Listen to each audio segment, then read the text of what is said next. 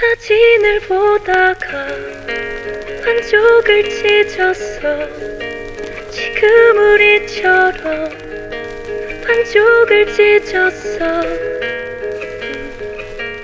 난 남들처럼 그렇게 널 잊고 싶어서 사진을 찢어버렸어 편지를 보다가 찢었어.